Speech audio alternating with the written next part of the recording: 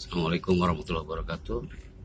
Kita akan menuju ke lokasi. Setelah 200 meter, belok kanan ke Jalan Keranggan Gunung Putri, Jalan Raya Karanggan. bitaqwallahi was-sam'i wat-tha'ah man ra'a minkum ba'di fasayara ikhtilafan katsira fa'alaikum bisunnati wa sunnatil khulafa'ir rasyidin wa atu 'alaiha wa Apa kabar Bapak Ibu semuanya? Masya Allah boleh saya curhat sedikit di satu menit pertama Bapak Ibu Tadi malam Saya diberi amanah oleh komunitas Majelis Taklim yang ada di Sumatera Selatan. Ya, silakan ayatnya masuk. Yang, yang di luar masuk kan? Bapak-bapak maaf. Ya, dulu.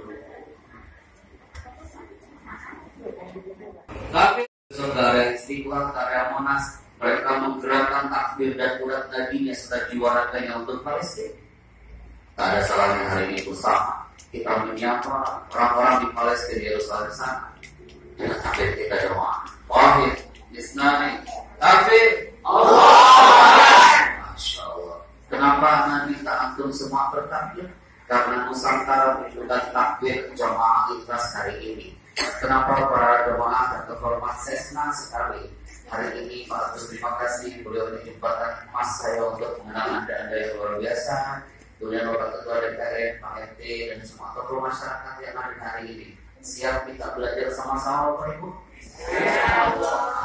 saya berani berdiri di sini bukan berarti saya pakar dan ahli dalam hal ini nah ta'alama kita akan belajar sama-sama dan hari ini durasinya kurang lebih kalau melihat schedule di sini adalah satu jam 15 menit sampai azan zuhur dikumandangkan. Jadwal awalnya sudah 30 ya Bapak ya, tapi itu udah sunnah di Indonesia. Biasanya kami molor gitu ya.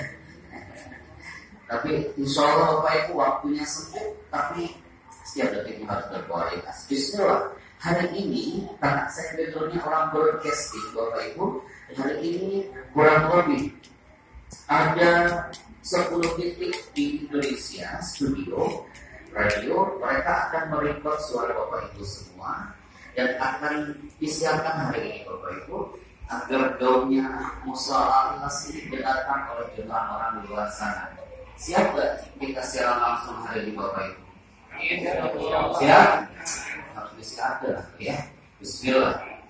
Dalam hitungan kelima puluh kami akan berikut lima empat tiga dua satu. Kami bernama Al-Imas FM sebagai operator untuk men-save audio kami.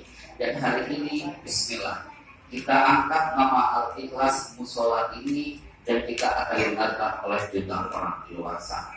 Oke teman-teman yang terhormat merupakan kehormatan bagi kami hari ini kami akan buka sebuah tema selain raih pesona surgawi dengan mencintai sang Nabi berhikmah di maulid Nabi di tanah suci Makkah.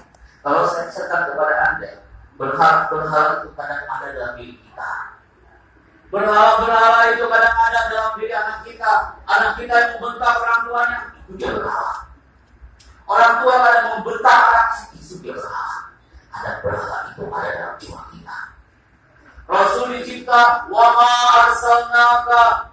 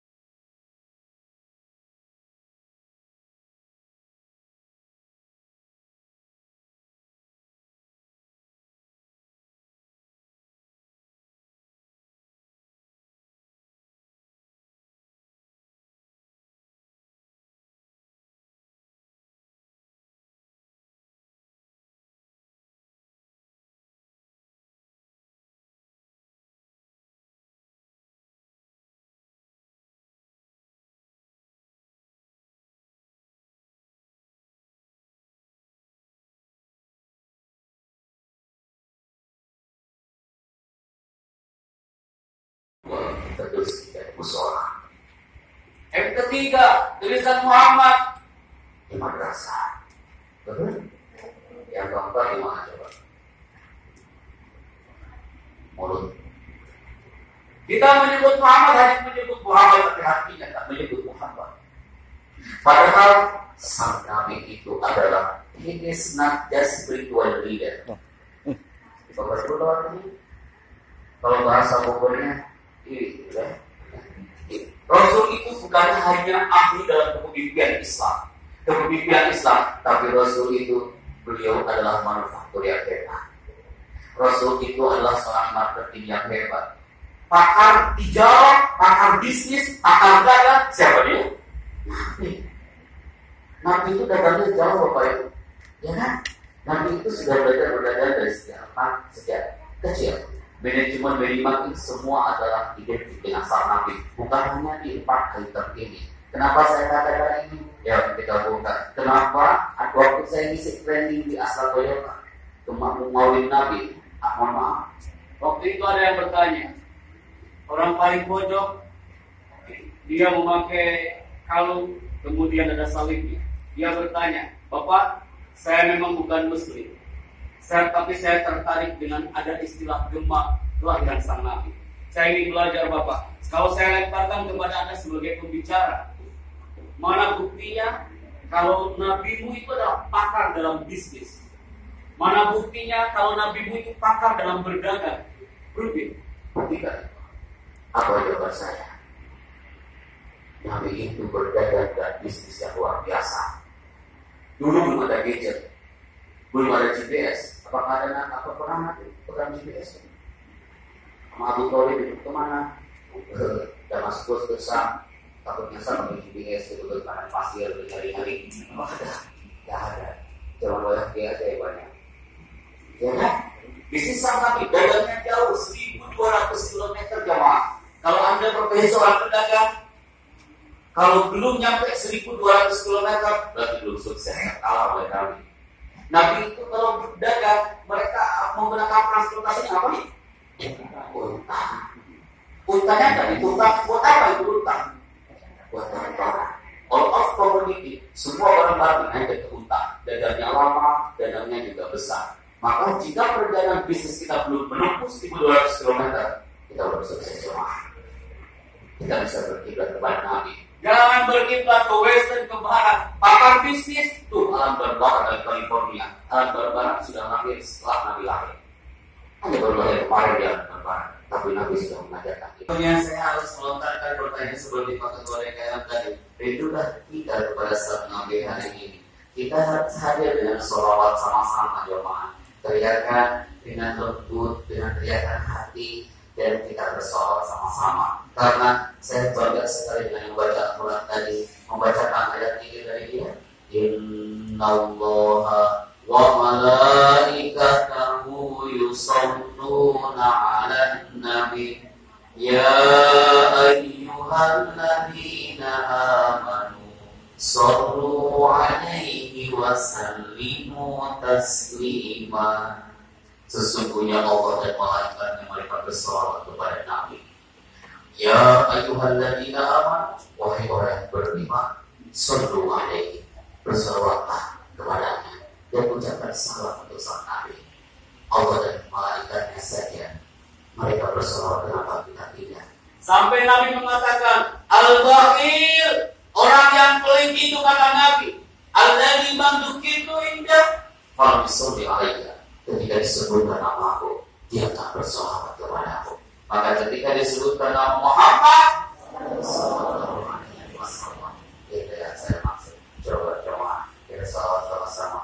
Ya Nabi Salam alaika Ya Rasul Salam Salam Ya Habib Salam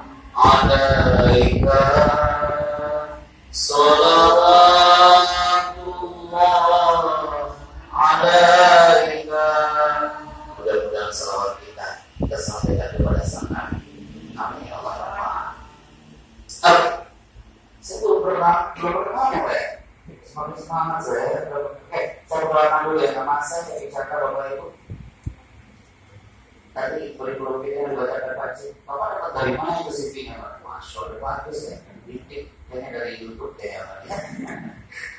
Nama saya bicara Bapak. Kalau kita ketemu di jalan bisa manggil saya Pak Happy, bisa manggil saya Chandra.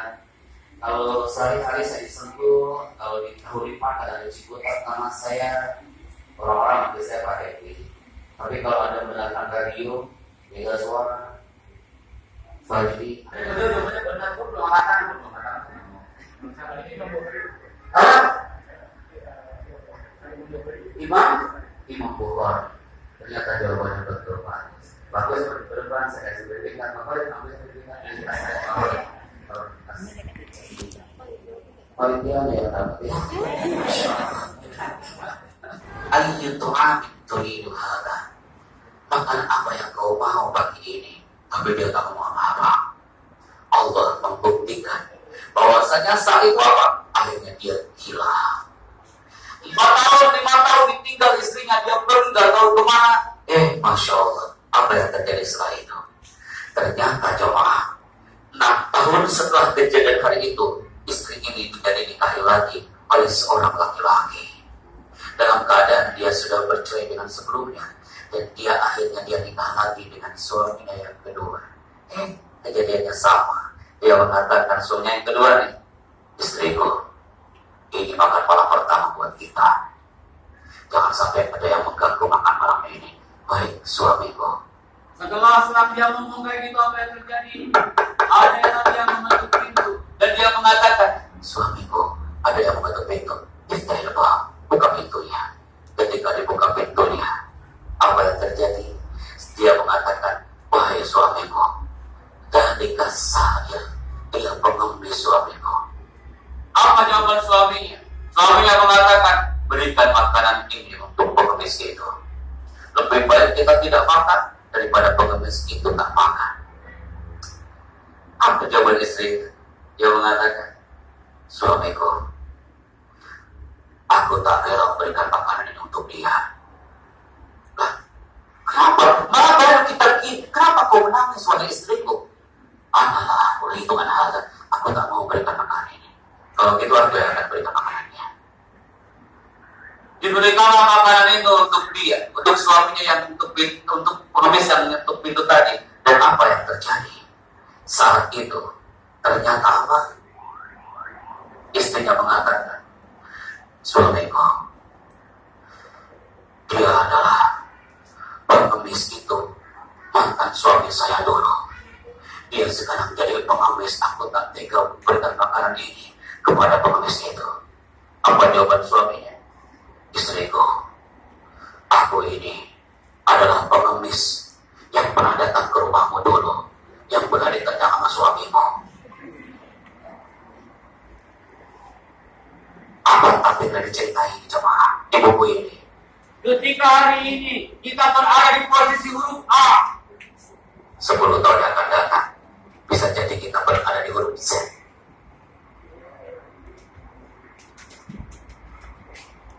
Salim.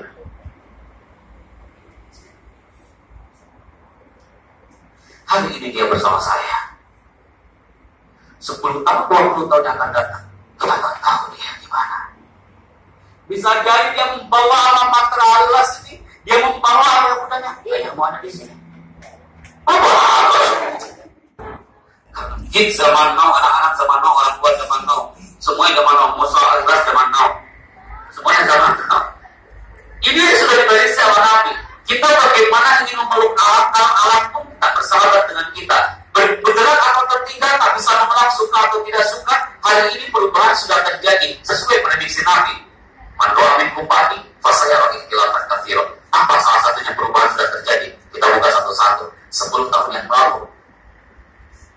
Tahun sekarang. Ya, 2007. Sepuluh tahun yang lalu, yang namanya Yahoo nih jemaah. Itu sudah menjadi raksasa dunia internet. Sekarang Yahoo sudah hilang. Yang muncul apa? Google. Apa lagi? Itu handphone dulu tuh ramai banget. Sekarang Nokia atau Nokia. masih ada sih ya mereka. Tapi Symbian ini hampir punah. Yang muncul apa sekarang? Android. Eh, semuanya pegang Android. Ada juga sih yang pegang handphone zaman jahiliyah juga masih ada. Gitu kan? Ini apa? Coba itu tanya anak-anak kita. Nah, tahu majalah gadis? Apaan tuh bu? Masih itu. Perubahan sudah terjadi coba. Jangan hal. Tak pernah kita melihat pagi-pagi ada bapak yang lagi menikmati kopi panasnya lagi baca Femina Okta. Pernah lihat nggak bapak itu? Sudah diprediksi oleh Nabi. Yang sekarang muncul apa? Nih. Anak pulang dari sekolah. Ya Allah bunda. Handphoneku hilang gitu ya. Oh, kayaknya itu udah kiamatku belum banget kalau handphone hilang. Satu anak lagi datang. Ya Allah bunda, dompetku hilang. Untung dompet bukan handphone. Tuh. Kayaknya handphone ini udah segalanya. Jangan sampai handphone itu jadi berhala. Bikin-bikin handphone. Bangun tidur, jadi ada apa? Handphone. Anak ditanya, ah, cita-citamu jadi apa? Saya ingin jadi handphone. Kenapa? Nak? Saya ingin dekat seperti layaknya handphone dengan bundaku. Bunda, sebelum tidur, handphone dia peluk. Ketika bangun tidur, eh, handphone mana? Mau mandi, eh, apa saya handphonenya ya? Aku ingin seperti handphone. Selalu ada di dekat ayah dan bunda. Masya Allah. Oke, lanjut. Anak cucu kita tahu kabar? Pak Bunda, Pak. Menurut Bapak, ini hubungannya antara dua benda ini untuk apa?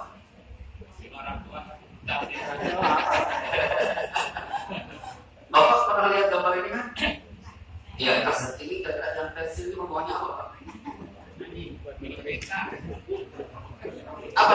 Oh, harus saya setiap saya buka segmen ini, ibu-ibu udah pakai gini Anak cucu kita nggak tahu apa ini. Coba, nah, coba kak. Ah, yuk, yuk. Ah, kak yang pakai ini, kak, ini kak, yuk, kak. Ada yang coba. Kak, ini gambar apa? Ini gambar apa? Buat apa antara dua benda ini? Nulis di kaset. Ini buat putar kan saya.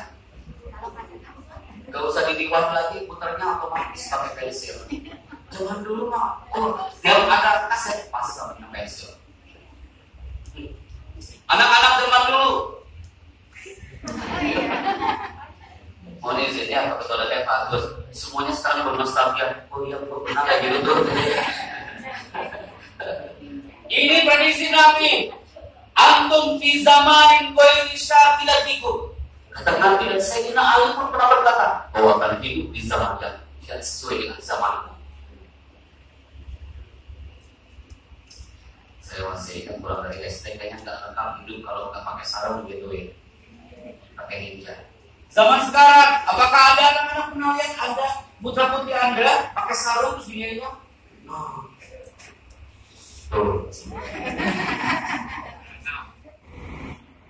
Pasti orang-orang barat kadang-kadang para selebritas.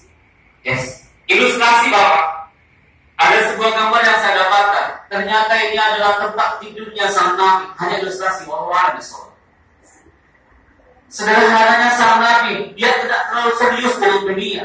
Suatu saat sang Nabi tertidur di sini sampai pipinya itu ada bekas ikat bergores-gores itu. Saat itu sahabat Nabi langsung bertanya, Ya Rasulullah, ada nggak kau berhala? Aku tak rela melihat Nabi Allah Kau tertidur di atas tikar seperti ini. Kau itu adalah seorang khalifah ya Rasulullah. Kau tertidur hanya seperti ini dan masih berbekas. Ada bekas tikar di pipimu, wahai baginda Nabi. Sedangkan kaisar kaisar Romawi di Persia, mereka tidur di atas kasur yang megah. Adalah harga berhala.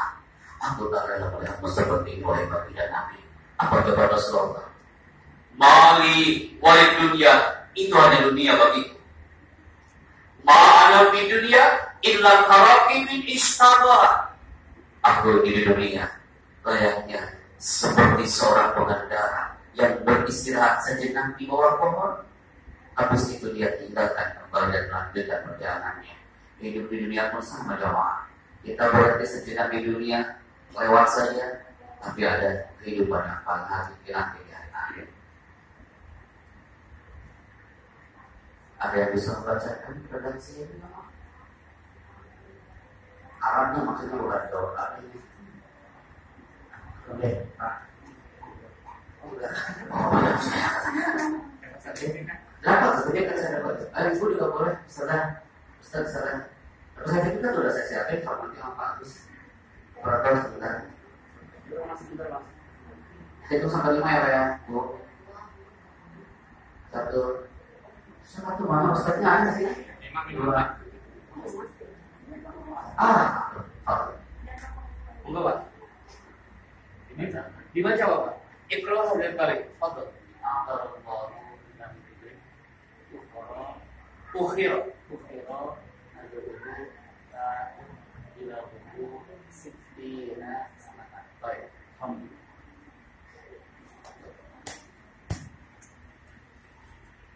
Usia seseorang itu Allah sudah memberikan batasan kepada umat Nabi melalui sabdanya berapa tahun? 60 tahun. Ada hadis yang lain, Akmalu ummati ma baina sittin ila sab'in wa aqallu. Usia manusia umatku kata Muhammad Rasulullah SAW antara 60 hingga 70 dan sedikit yang melebihi itu. Ada usianya di sini yang sudah 70 tahun. Ini masih muda-muda sini ya. Ya deh. Base City Wasabi. Kenapa? Jadi teman-teman, kenapa saya katakan ini tentang usia? Setiap detik, setiap saat, tetaplah merasa bodoh agar kita terus belajar dan tetaplah merasa lapar agar kita terus berusaha. Karena bagaimanapun ini adalah hal yang sangat penting. Sebelum saya melanjutkan ke segmen berikutnya, saya akan memberikan sertifikatnya. Bapak maju ke depan, Antum silakan maju ke depan, Pak Agus juga maju ke depan. Takut lupa nanti. Ini titipan dari kantor wilayah Public Speaking School Jakarta. Saya berikan yang pertama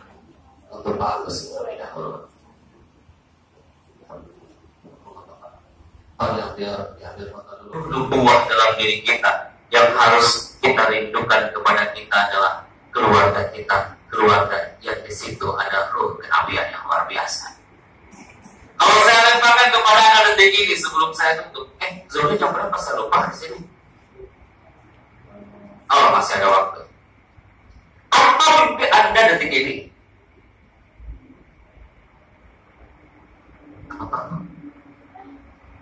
Kalau saya lemparkan kepada anda Bapak Ibu, apa mimpi anda detik ini? Ketika saya lempar di Palembang, ada jawaban seorang penjawab dari Palembang, dia adalah akhir nelayan. Jawabannya apa? Saya itu ada anak di situ dia menjawab. Saya itu Pak bermimpi saya ingin memeluk ayah bunda aku hari ini. Nah kenapa ayah bunda sekarang negeri Pak? Oke. Berapa lama? Udah dua tahun Pak. Impian saya saya ingin memeluk ayah bunda. Ketika saya mau potong, eh orang tua itu mengatakan, tapi Pak, walaupun orang tua tak ada, boleh nggak saya memeluk guruku? Guru yang masuk ke depan, dia belum. Impian sang buah hati. Sama dengan impian seorang anak ini. Ketika kami mengisi seminar di Al-Azhar, satu anak ini dia mengatakan, Ya Allah, haramkan wajah ibuku dan ayahku dari disambar oleh api neraka. Kurniakan buatnya surga dan mahisab ya Allah. Anak yang menulis surat, ini suratnya. Kami renov lagi, kami modif lagi dan berbentuk gambar. Mungkin bapak ibu juga pernah melihat tayangan ini. Pernah lihat gambar ini? Kedengaran pak suaranya?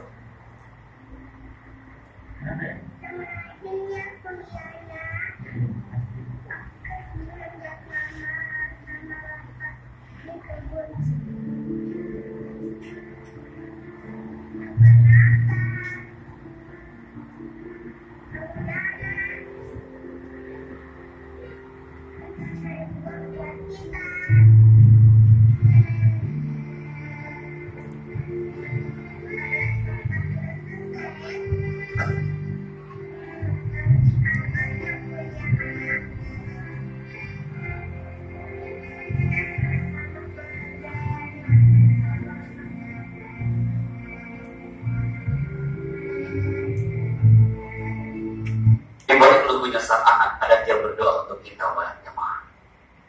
Dia berdoa di belakang untuk kita. Kadang kita kesal juga sama anak ya. Tapi di balik kesal kita kepada anak, dalam hatinya ada enzim sudah dititipkan oleh Allah. Dia berdoa buat kita. Saya yakin itu. Berubah dia apa pun sejenak. Ternyata pelukan itu indah. Mimpikan untuk bertemu sekeluarga, untuk bertemu dengan Allah. Kenapa saya katakan itu? Saya tanya nih, udah memeluk dua hari anda nih? Sudah? Oh sudah. Sudah memeluk pasangan anda hari? Ibu jawabannya. Jauh hari ya, Bu ya? Ternyata apa jemaah? Nabi yang sudah mengajarkan hak yang terjadi? Dia bisikan di telinga kiri Fatimah sesuatu. Dia Rasul bisikan di telinga kiri Fatimah. Tapi saat itu Fatimah langsung berhentikan air mata. Dan saat itu dia membisikkan di telinga kanan Fatimah. Fatimah langsung tersenyum. Aisyah langsung bertanya, Ya Fatimah, ada semua satu Nabi, aku ini istri Nabi. Emang kau putri aku juga istri Nabi. Apa yang dibisikkan ayahku? Aku tahu apa yang dibisikkan suamiku. Apa yang dibisikkan ayahku? Apa yang ingin tahu? Karena Rasul lagi lepas. Ada jawaban jawaban seorang Fatimah. Wahai Aisyah, La mungkin Nabi. Aku tak mungkin membeberkan rahasia ini. Baini wa baina abi. Ini rahasia antara aku dengan ayahku. Akhirnya, Rasul pun meninggal. Inna lillahi wa inna ilaihi raji'un. Terdengar kau itu di rumah sang Nabi. Tapi Aisyah, dia masih bertanya-tanya. Setelah Rasul wafat, Aisyah masih bertanya-tanya. Ya Fatimah, anak atas salah hada, ku bertanya-tanya. Apa yang dibisikkan oleh ayahku waktu itu? Baru Fatimah menjawab. Aisyah, beberapa hari sebelum ayahku mati, dia membisikkan sesuatu di telinga kiriku. Dan kenapa aku menangis? Dia mengatakan, Putriku, sebentar lagi ajalku akan tiba. Aku akan dipanggil Allah, wahai putriku. Janganlah kau bersedih. Dan saat itu kenapa kau menang? Kenapa, kau tersenyum wahai Fatimah? Ayahku membisikkan di telinga kananku. Dia mengatakan, Putriku, walaupun aku dipanggil lebih awal, kau jangan khawatir. Kamu adalah putri tersayangku yang akan dipanggil oleh Rob dan kita akan bertemu di surga